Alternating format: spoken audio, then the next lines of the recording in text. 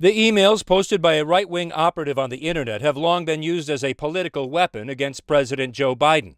But it's his son, Hunter, who's facing potential federal charges. As CNN first reported, prosecutors in Delaware are narrowing in on potential tax violations in their investigation of Hunter Biden. These emails, forensically authenticated for CNN, reveal Hunter Biden was repeatedly warned about deep debts and years of back taxes.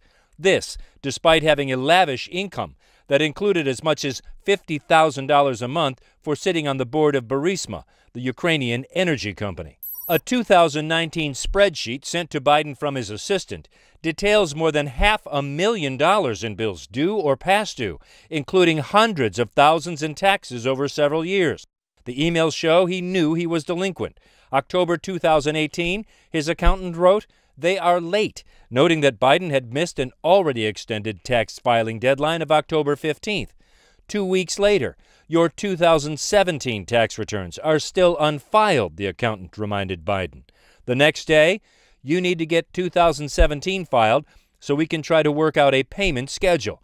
The accountant told Biden the IRS was also demanding a payment from 2015. They want $158,000, the accountant wrote.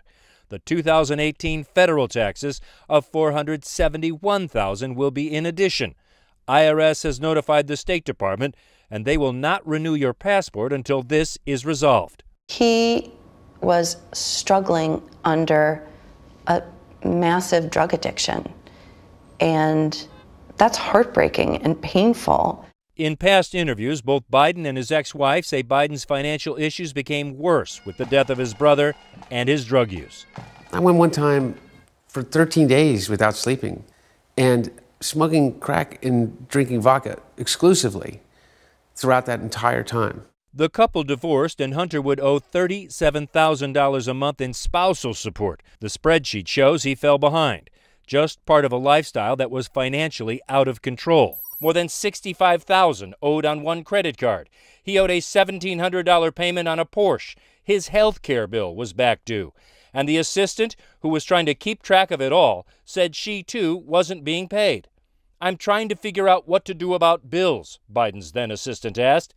Pay the health care, pay the Porsche, Biden responded, and told the assistant she should only pay herself half what she was owed.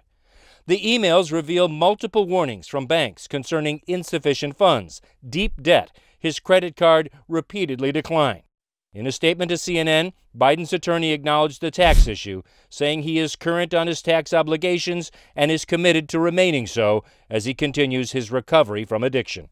I'm cooperating um, completely, and I am absolutely certain, 100% certain, that at the end of the investigation, that I will be cleared of any wrongdoing. Even if Hunter Biden is never charged with a crime, that won't matter to Republicans, especially those who may chair powerful committees if the Republican Party wins the majority in Congress, like Kentucky Congressman James Comer, who promises a Hunter Biden investigation if he heads the House Oversight Committee. Hunter Biden's a shady business character. We fear that he has compromised this White House. That's why we're not going to continue to let up on these investigations, and we're okay. going to hold somebody accountable for this. Joe Biden is not being investigated as part of the federal probe into Hunter Biden, according to sources.